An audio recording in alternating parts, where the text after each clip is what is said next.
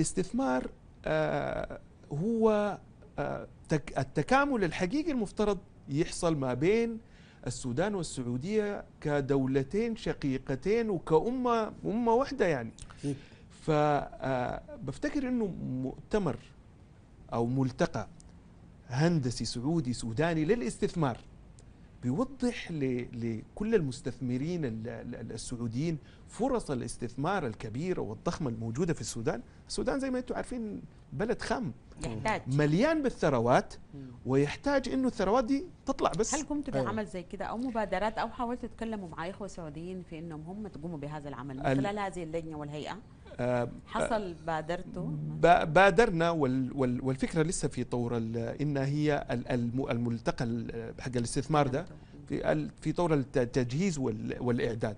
فنتمنى انها هي يعني نشوفها قريب إن شاء الله. هاي بس لأنه أنتم هو حلقة الوصل ما بين السعوديين والسودانيين والسودان. صحيح كويس. أنتم هم أنتم عندكم خلفية تامة عن السودان وعن حاجات ممكن سهلة إنها تطلع يعني. صحيح حقيقة.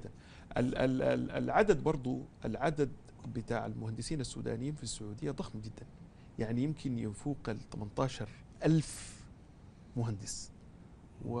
ودي ده رقم كبير رقم كبير. وأجيال كبير جداً. مختلفة. وأجيال مختلفة يعني لما نتكلم زي ال- المجلس الاستشاري اللي كان استشاريين، نعم. بالنسبة لل بالنسبة لنا كجسم.